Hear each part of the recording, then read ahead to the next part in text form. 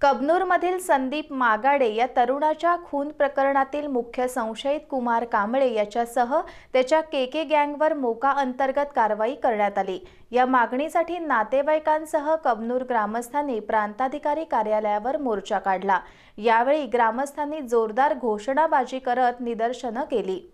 तेवीस जानेवारी रोजी राजकीय वैमनस्यातून कबनूरमधील संदीप मागाडे या तरुणाचा सशस्त्र हल्ला करून निर्घृणपणे खून करण्यात आला.